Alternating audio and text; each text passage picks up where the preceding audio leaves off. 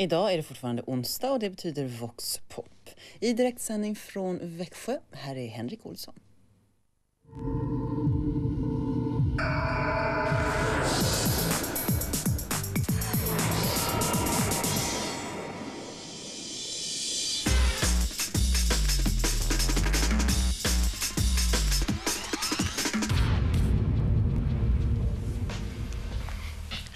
Hej! Välkommen till en timmes inrutad underhållning. Men tillsammans ska vi se till att det här blir riktigt bra.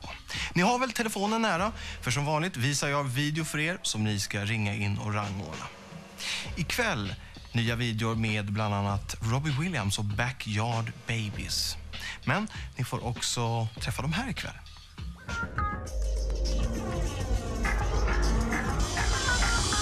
Check out our video on Vox Pops. It features us. It's filmed in Spain. It's loads of fun. Do our dance. See you later. Ja, steps i Voxpop.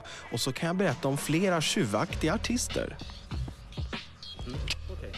Welcome to Swedish with Savage Garden.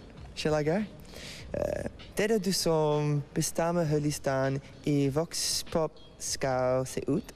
Ring och rösta. Och så får ni också träffa en alldeles jättefärsk engelsk, ung, ung, jätteung tjejgrupp. Cleopatra heter de. Det är någonting att se fram emot. Förra veckan röstade ni fram årets första Voxpop-lista. Då segrade Backstreet Boys med All I Have To Give. Kanske inte så förvånande, men att Rage Against the Machine blev två, det blev jag i alla fall överraskad av. Och det är roligt när det händer såna här grejer. Och naturligtvis blir det ju lika kul ikväll.